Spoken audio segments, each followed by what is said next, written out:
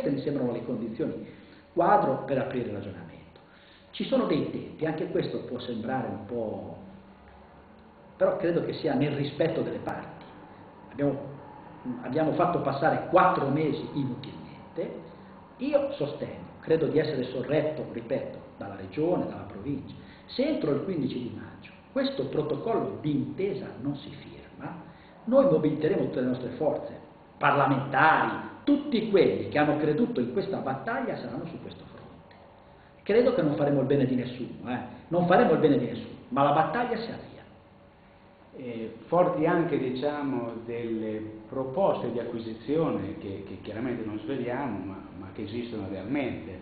Sì, ma eh, io sono il comune della Spezia, quindi soltanto il comune della Spezia ha avuto contatti, ma io penso alla provincia altrettanto, la regione, la proprietà, al ministero, io penso che anche questa potrebbe essere una prima cosa simpatica. Oggi, a quest'ora, proprio in questi, in questi, momenti, si poteva firmare il protocollo, fra un'ora c'erano già le condizioni per capire ma quali contatti?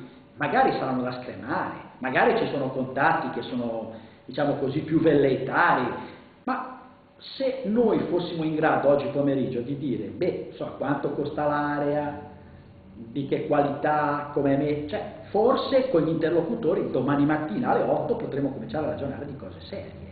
Finché non si firma il protocollo io non sono, da questo punto di vista io sono non abilitato a discutere con voi di questa cosa, mentre sono abilitato a dire che posso aprire un contenzioso, io non sono abilitato a discutere di questo perché non, non c'è una firma. Oggi c'è un proprietario che ha cessato un'attività e che potrebbe vendere a chiunque.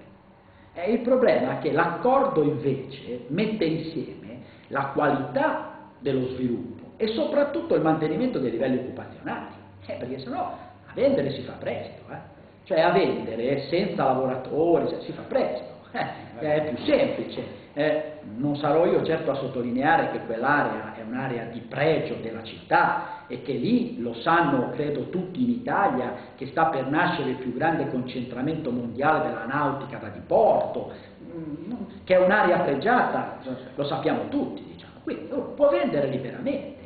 E poi se il contenitore è vuoto, figuriamoci ancora meglio, eh, ma c'è un problema, che noi non possiamo pensare alle speculazioni. No, le speculazioni si pensano in tempi di vacche grasse. In una crisi di questa natura, prima di tutto, ci abbiamo di fronte eh, i 148 licenziati. Questo è un problema comune, non è un problema solo mio, è un problema anche della proprietà. Assolutamente. E possiamo dire che tra i due o tre maggiori, chiamiamoli acquirenti, possibili acquirenti, ce n'è una che continuerebbe proprio anche nella, nella diciamo, realizzazione di lavatrici. Eh, magari per altri mercati o per altre cose, per cui il contraccolpo sarebbe veramente lieve se non una volta appunto ha avuto di fronte sì. i dati per la contrattazione. Sì, sì, questa, cosa, questa informazione che, che, lei ha corrisponde al vero. Non c'è soltanto questa, eh, ci sono più opportunità anche di modello di sviluppo differente.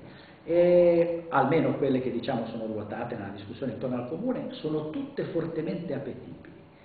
Una può avere questo pregio che lei indicava, cioè mantenere quel livello produttivo è un po' più semplice per tutti, i lavoratori sono già attrezzati, eh, la produzione si può mettere in piedi in tempi molto più rapidi, eh, quindi è un'ottima occasione. Un secondo è l'area della nautica, perché se quello diventa davvero il crogiolo della nautica mondiale, beh, insomma avere un, un, un grande eh, punto di riferimento della nautica un nome prestigioso della nautica mondiale, a noi come sistema territorio farebbe molto comodo. Ma penso anche a sistemi legati ai sistemi energetici. Questa è una città che è logorata da una discussione sui sistemi energetici. Eh, dare l'idea di adoperare quell'area su un pezzo di sistema energetico delle rinnovabili è anche questa un'idea che la città come dire, volge al futuro, no? Eh, ripeto, solo le prime poche cose che il comune capoluogo ha cominciato in modo, lo ripeto, del tutto arbitrario, perché non è abilitato a farlo, diciamo, ma così, diciamo, a, tipo, a livello di consulenza eh, ha introdotto. Quindi mi sembra che siano arrivati i tempi, eh, ci sono tutte le condizioni per avviare questo processo. Non, non capisco perché oggi, eh, scusate, questa è la parte di sfogo, non si è chiusa questa operazione con una firma. Ci dicono che la proprietà è all'estero, ma la, è la proprietà che ha concordato la data del 29 aprile, mica io. Perché io, se dovessi aver concordato io, la concordavo, la concordavo il, il, 20 gennaio, diciamo. dopo che abbiamo firmato il primo accordo, tre giorni dopo avrei firmato il protocollo. Tanto ci abbiamo messo a scriverlo.